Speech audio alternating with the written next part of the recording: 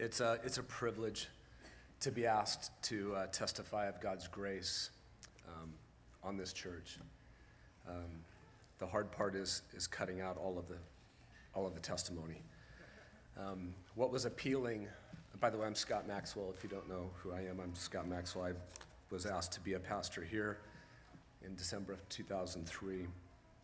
And what was appealing about this church to me in 2003 is what is still appealing to me in 2021, and that is um, the God of this church, um, who purchased this church with his blood, with the blood of his son. What was appealing back then in 2003 was um, God's love for this church when it was unlovely in the eyes of men. And what was appealing back then was God's grace and his favor on this church when man had no favor to show it at all.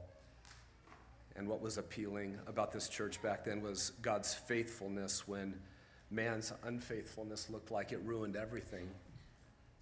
And what was appealing back then was God's trustworthiness when man could not be counted on. In those earlier days, God stood out in stark contrast to us all. And that was appealing. The more I got to know this church and what God was doing in it, um, all I could think and all that my wife could think was that we just wanted to be a part of this church family, no matter what God was going to do with it. I wanted to see. I, I wanted to be an eyewitness. I wanted to be in the front row to see what God was going to do next in all of his love and grace and faithfulness. I wanted to experience together with you the uh, trustworthiness of God. Young men and young women, uh, brand new believers, uh, single, maybe newly married at best, who were saddened by the events that preceded ran to put their fingers in the dike to stop the leaks, and we quickly ran out of fingers, and it kept leaking. And it was truly amazing. If we survived those early days, there would be only one explanation, and, we knew that that explanation was God. So that was really um, a great, great moment. It was a privilege to be alongside um, everybody who did that. It was also a unique opportunity for us uh, because you, at the beginning, had seen quick and exciting numerical growth, only to watch it quickly evaporate just as fast. And that's a unique moment in our history to be able to then just open our Bibles and put our heads down and plod just one day at a time. And so we did that. And we grew spiritually, and we grew steadily, and we grew together as we made the God of the Word our highest pursuit and our chiefest joy. And this church has not really ever really experienced fast, flashy growth, but we have been enriched deeply by God's sure and steady faithfulness in our lives, His grace and His love. Um, making it to year 20 as a church means that we have walked through so many different seasons of life together. And through each one of those different seasons, um, God's grace has been on display towards us. Um, many of you went from singleness to married life, and God's grace was on display. And then you went from being married to becoming parents, and God's faithfulness and trustworthiness was on display.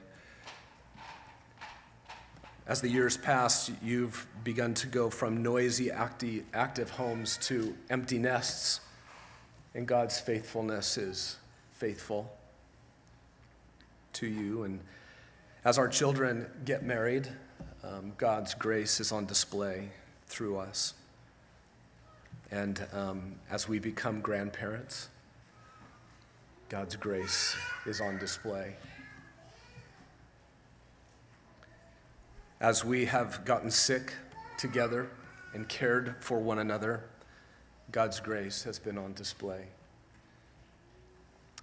As we've grown older and we've begun to lose our parents, God's faithfulness upholds us.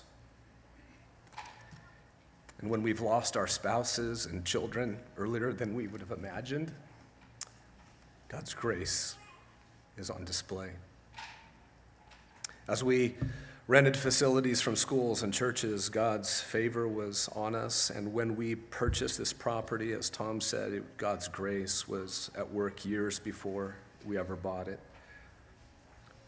When we sent gospel servants to tribal peoples at the ends of the earth in PNG so that those tribal people could be around the throne one day, God's grace was on display. As we train men to be pastors and elders in church, um, God's grace is on display.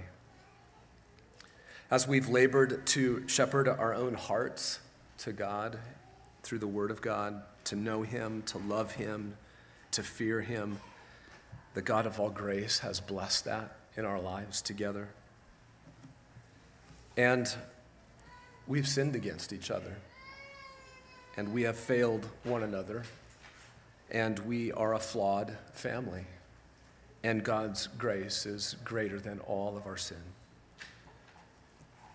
This is a, a church family that, that I want to experience these seasons of life in. And I, I think I only want to encourage you, experience those seasons of life with this church family if you haven't already.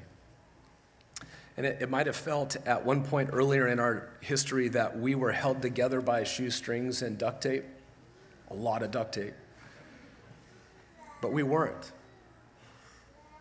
We weren't. We were, we were held up and we were held together by the hands of the God of endless grace. Um, his faithfulness and his love and his trustworthiness supported us. And now that we're, we're 20 years older as a church, a little more mature, it would be an error to think that we're secure primarily because, well, we've just grown up and we've matured spiritually. But the truth is, we are not held together today any less by God's grace than in those earlier days. And it is a privilege beyond words to just be a part of this church family.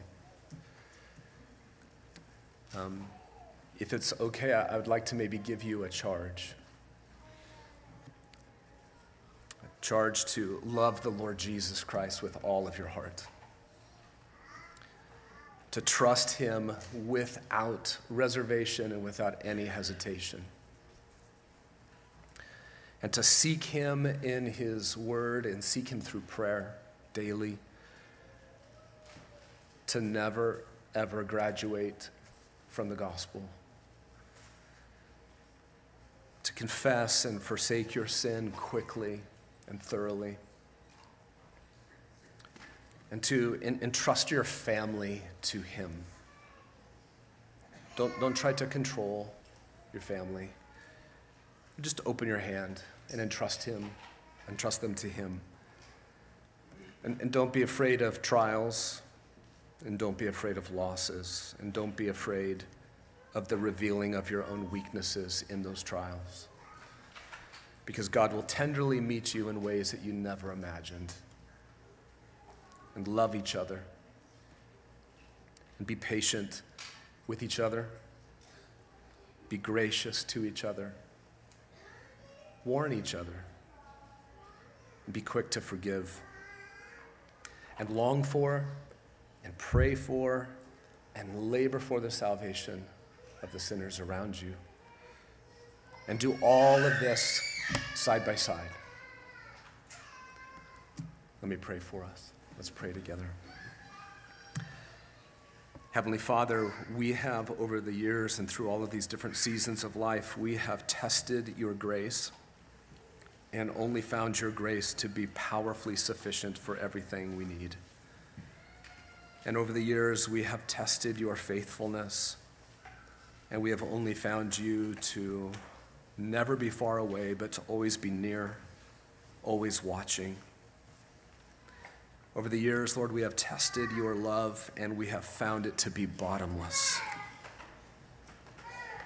And over the years, we have tested your trustworthiness, and we have found it to be even more solid than we could have imagined.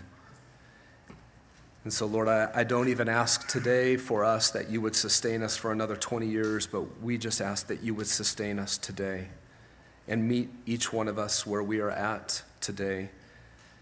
And would you please just reveal again to each one of us yourself?